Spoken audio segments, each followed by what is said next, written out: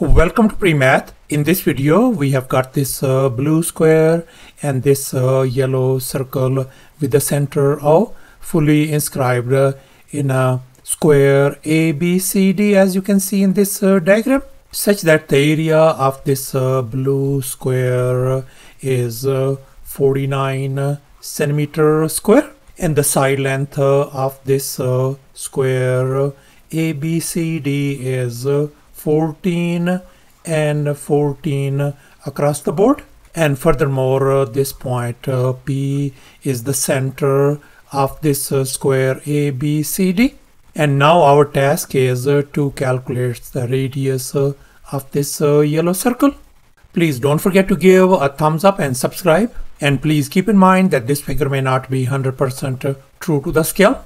Let's go ahead and get started. Before we proceed any further, let me go over the basic uh, concept uh, review. And now let's focus uh, on this uh, square ABCD. Since all these uh, side lengths uh, of the square are same, let me label this side length x, x, x, and x across the board.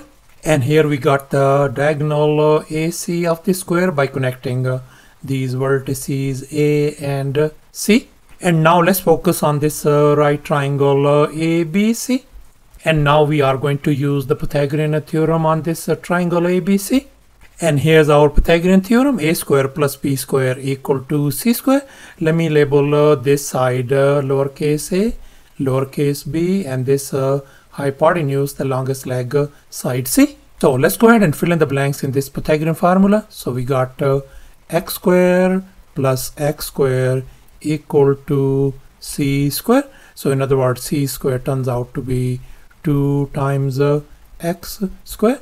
Let me go ahead and undo this uh, square by taking a square root on both uh, sides. So here we can see c turns out to be equal to x uh, times uh, square root of uh, 2. So therefore our this side length c turns out to be x times square root of 2. So therefore keep in mind that whenever we have a side length uh, of the square as x, uh, then its uh, diagonal is going to be x times the square root of 2. And we are going to use this concept in this given problem. And here's our next step. Let's focus on this uh, blue square PECF and its area has been given to us as 49. And now let's recall the area of a square formula, area equal to s square where s represents the side length of this uh, blue square. And in our case the area of this blue square is 49 so therefore we can write uh, s square equal to 49 let me go ahead and undo this square by taking a square root on both uh, sides. So therefore our side length uh, s uh, turns out to be 7 centimeter. So therefore all these side length uh, of this blue square turns out to be 7 units across the board. And now let's make an observation. We can see that this whole side length uh, CD is uh, 14 and this side length FC is 7 and since uh, both uh, of these are squares so no wonder this point P is going to be at the center and here in this uh, next step I have connected uh, this uh, point A and C. And as a result we got this uh, diagonal AC of this uh, big square ABCD and now let's focus uh, on this big square ABCD whose side lengths are 14 and 14 across the board. So therefore its diagonal AC is going to become 14 times the square root of 2 so thus our AC length turns out to be 14 times square root of 2.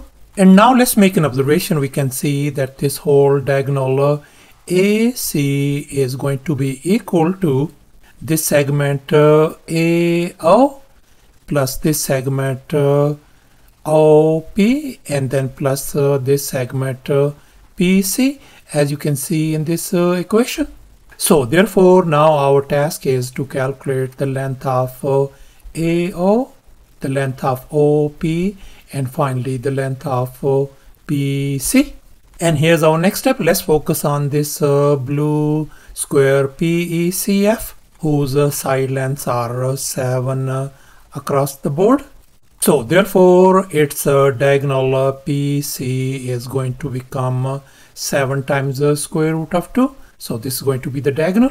And here in this uh, next step I have uh, connected this uh, center O with these points of tangency T and Q as you can see in this diagram. And now let's recall the circle theorem. According to this theorem, the angle between the radius uh, and the tangent line will always be 90 degrees. So therefore, no wonder these uh, angles are going to be 90 degrees each. Since uh, this OT is the radius of this yellow circle and likewise OQ is the radius uh, as well. And these are our tangent uh, lines. And furthermore, uh, this OP is the radius of this uh, yellow circle. So therefore I'm going to label this radius lowercase r, lowercase r and uh, lowercase r. And now let's focus uh, on this square uh, ATOQ. Its side lengths are uh, lowercase r, lowercase r across the board. So therefore its diagonal uh, AO is going to be r times the square root of 2. So thus our AO length turns out to be r times square root of 2. And now let's recall this equation once again AC equal to AO plus OP plus uh, PC and we can see our AC length is 14 times the square root of 2 and our this uh, AO length uh, is uh, r times square root of 2 and this uh, OP length uh, is r and finally this PC length is 7 times the square root of 2. So let's go ahead and fill in the blanks in this uh, equation. And now I have subtracted uh, 7 times the square root of 2 on both sides. This is uh, gone. And here when we subtract this thing, uh, that is going to give us 7 times square root of 2. So therefore we are ended up with uh, r times square root of 2 plus uh, r equal to 7 times square root of 2 and here we can see r and r they're in common. So I can factor that r outside. So we got r times the square root of 2 plus 1 equal to 7 times the square root of 2 and now we are going to divide both sides by square root of 2 plus 1 to isolate r. So this is uh, gone. So therefore our radius r is going to be equal to 7 times square root of 2 divided by square root of 2 plus uh, 1 and now we are going to rationalize uh, this uh, denominator by multiplying and dividing by its conjugate. So we can write uh, square root of 2 minus 1 divided by square root of 2 minus 1 as well. And now let's go ahead and multiply these uh, numerators. And likewise we're going to multiply these uh, denominators as well.